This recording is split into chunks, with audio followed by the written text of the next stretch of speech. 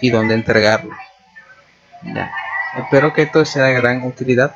Estas dos guías son las principales que van a necesitar. Reitero, cronograma para que sepa en qué fecha se habilitan y se cierran las actividades y la guía de aprendizaje que te va a decir paso a paso cómo funciona cada una de estas actividades, cómo se inicia, qué se busca y dónde se entrega. Un abrazo para cada uno de ustedes.